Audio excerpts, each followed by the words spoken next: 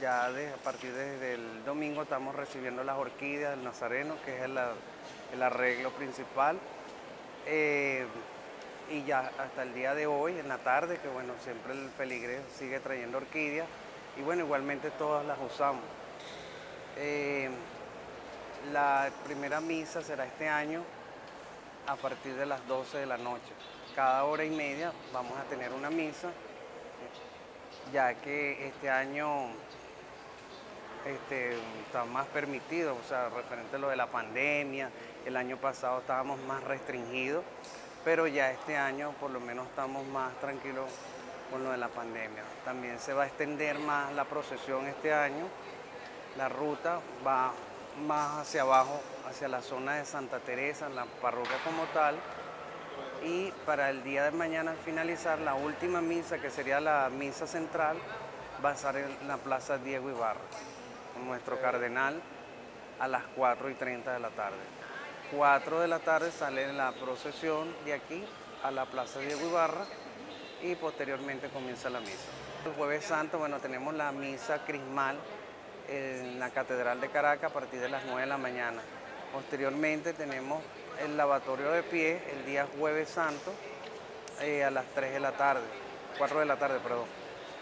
Y de ahí comenzaría la adoración al Santísimo Sacramento, que comienza la visita de los siete templos. El día viernes tenemos este, el sermón de las siete palabras, la procesión con el Cristo crucificado y este, la adoración de la cruz, que sería a las 4 de la tarde. Ya el día sábado, ya el templo permanece cerrado hasta las seis y media de la tarde, que se abre la feligresía para la bendición del agua y el fuego. Y el día domingo ya tenemos la misa de resurrección, que es la fiesta de alegría, que bueno, como cristianos celebramos todo. Este año ha sido muy nutrida la recolección de orquídeas por parte del pueblo y bueno, se ha logrado mucho, porque desde ahí de esas orquídeas arreglamos el altar mayor, la Virgen Dolorosa y el Nazareno. Le estoy haciendo unas novenas de cuando puedo.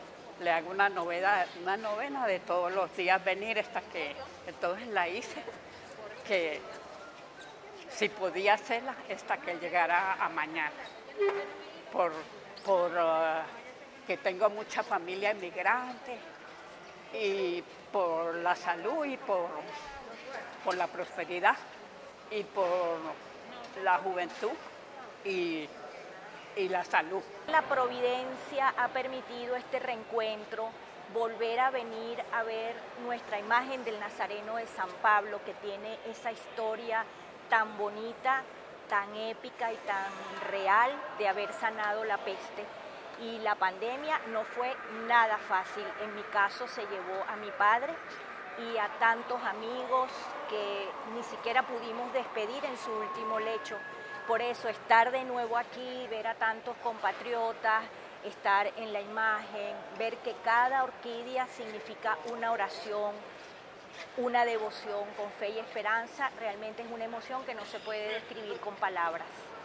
Muchas gracias Señor, gracias mi Señor. Mañana estarás tú con esta cruz que tenemos aquí en este país, todas las enfermedades de aquí de Venezuela y el mundo entero. Ampáranos, Virgen Santa, ayúdanos.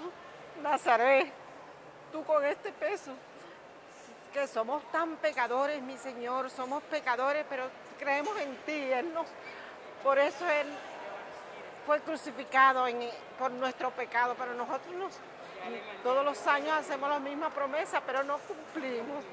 Perdónanos, Señor sobre todo a, nuestros hijos, familiares, Venezuela completa, el mundo entero, y todos aquellos jóvenes venezolanos que están fuera de aquí, sobre todo mi hija, que regrese, regrese aquí a Venezuela, ya no más.